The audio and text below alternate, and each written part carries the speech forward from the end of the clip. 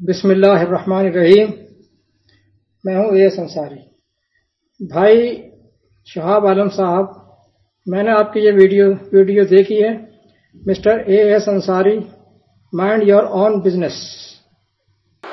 बहुत सारे अहबाब ये कह रहे हैं कि भाई आपको ए एस अंसारी मुसलसल नाम लेकर चैलेंज किया चला जा रहा है और ये सब कुछ कर रहा है तो आप उसका जवाब क्यों नहीं देते? देखिए, सबसे पहली बात तो ये है कि मैं अल्लाह के अहकाम का पाबंद हूँ। किसी मुल्ला के या किसी मजहबी अकाबरीन के पैरोकारों में से नहीं हूँ कि उनकी इतबा करूँ। क्या अल्लाह ने कहीं कहा है कि किसी को चैलेंज करो? अल्लाह का पैगाम जो उसने, अल्लाह ने ये कहा कि मेरे पैगाम को पहुँचा दो। कोई माने या ना माने, ये उसका और अल्लाह का मामला है, मेरा मामला नहीं है। अगर कोई मेरा नाम लेकर कुछ भी कर रहा है तो करने दें। लोगों ने तो अल्लाह के रसूलों को भी नहीं छोड़ा। अपने अपने वक्त के जो कुफ़ार थे, अल्लाह के रसूल के मुकाबले में जो लोग आए तो उन्होंने कब ये कहा था कि वो गलती पर हैं? वो तो अल्लाह के रसूलों की गलती उजागर किया करते हैं।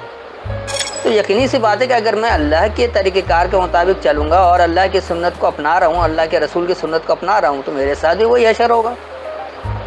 मैं इसके लिए कदम तैयार हूँ, कोई मसला नहीं, मेरा नाम लेकर जो मर्ज़ी आए, वो कुछ करता रहे। लेकिन मैं अल्लाह का पाबंद हूँ, अल्लाह के अहकाम का पाबंद हूँ, और जो अल्लाह ने मुझे हुक्म दिया है, मैं उसी पर अमल करने के लिए तैयार हूँ, उसके अलावा नहीं हूँ। तो बजाय इसके कि आप मुझसे आप लोग ये कहें कि मैं कोई जवाब दूँ या कुछ करूँ तो एक बात गौर से सुन लें कि मैं सिवाय पुरानी दलील के अलावा किसी और दलील को नहीं मानता हूँ। तो मैं जवाब क्यों नहीं दे रहा हूँ? मैं कुरान की ही दलील से इसकी आज आपको वजाहत कर देता हूँ, ताकि आइंदा कोई मुझसे इस तरह के सवालत ना करे और ना इस तरह के कोई पैगाम भेजे। मैं इसके कतई खिलाफ हूँ। ये मैंने वीडियो आपकी देखी। तो मैं गुजारिश करता हूँ, भाई साहब, शाह आलम साहब, मेरी इतनी औकात कहाँ कि मैं आपको कोई चैलेंज करूँ? मेरी इतनी औकात नहीं कि मैं आपको कोई चैलेंज करूँ। मैं बकौल आपके छठी का बच्चा और आप यूनिवर्सिटी के डिग्री होल्डर। कहाँ राजा भोज, कहाँ गंगू तेरी?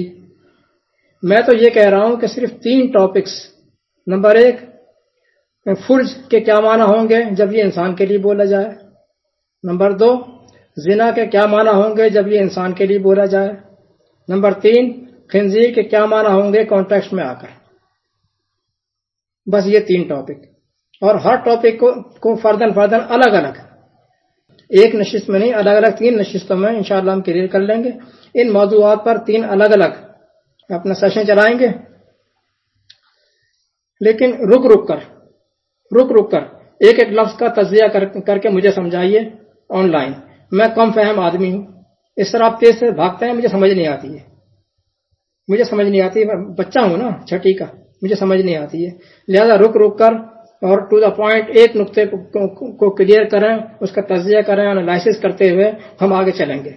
मैं आपसे कहूँगा एनालिसिस करके मुझे समझाते जाइए। मैं इस तरह समझ लूँगा और और पे आपका शुक्र गुजार रहूँगा।